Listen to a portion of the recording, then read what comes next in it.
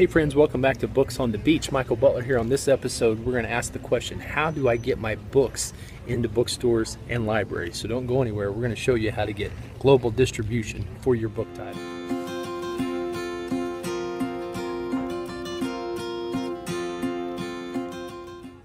We all want our books to go bestseller, right? That's a given. But we really need global distribution in bookstores and libraries because believe it or not, people still go to bookstores to buy books, and your book needs to be on the shelf.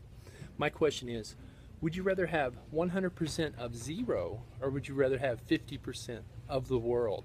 I'm going to tell you how to get global distribution for your book into bookstores and libraries. We've been doing it for years.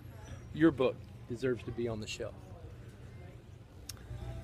Would you be willing to give up 45 to 55% of your book royalties if you knew you could end up in a bookstore like Barnes & Noble?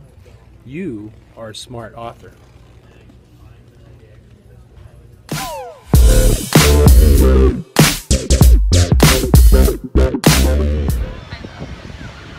Are we on? Is this thing on?